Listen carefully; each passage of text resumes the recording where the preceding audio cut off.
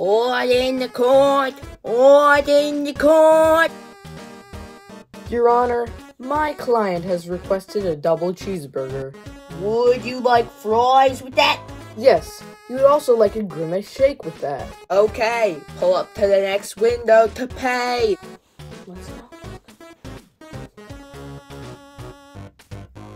Alright, court is now back in session. Ah, where is the defendant?